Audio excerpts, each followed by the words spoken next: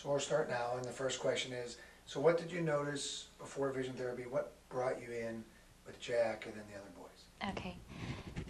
I, um, I started with my first son, Jack, but I since brought um, my twin boys, Joe and Luke. And Jack was my firstborn, and when he was in first grade, um, we started to notice that he had a lot of trouble in school. And he, um, he had a hard time focusing, he had a hard time following directions, and um, it transcended into his academics and his behavior in the classroom. And he started to really struggle with, um, with school, and he hated school. He hated the homework, and it was a battle with me after school to try to get him to do the homework, and it would take forever. And it would often end in tears. And um, he was in first grade, and I thought, we have a whole lifetime ahead of us of learning.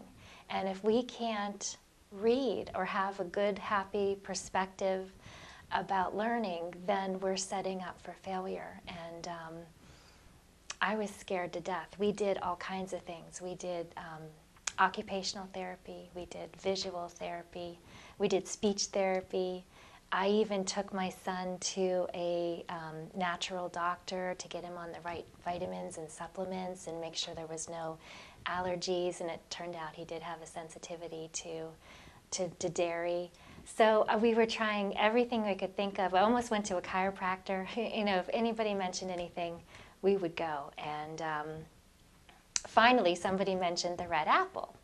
And uh, it was, I, at that point, I was uh, just fit to be tied. I was at my last string. I was, uh, we would have done anything, and we were just checking everything off the list. And I remember meeting with Dr. Falbo for the evaluation, and I just broke down into, into tears because I, I was uh, so beside myself with what what it could be, what I could do as a mom, and what teachers could do as, as teachers to help him succeed in school. And um, the example that I that I remember to this day, and it seemed it was just so baffling to me as a parent.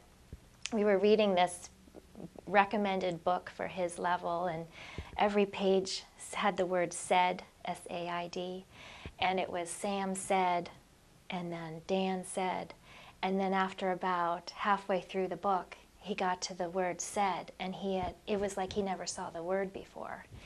And I just tried, I almost wanted to have a tantrum as a parent, like pulling my hair out.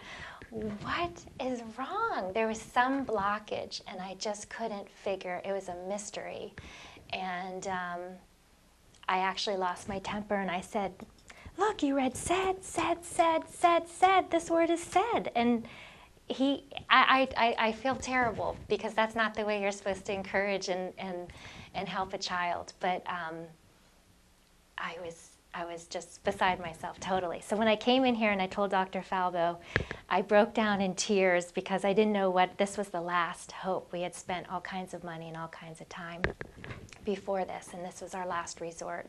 And I was crying because in the entryway, um, the waiting room, there, it was covered. All the walls were covered with red apple letters of thank you for the success that their son or daughter had had, or from the students themselves. And so many stories I could relate to with. Um, with the struggle of, of learning.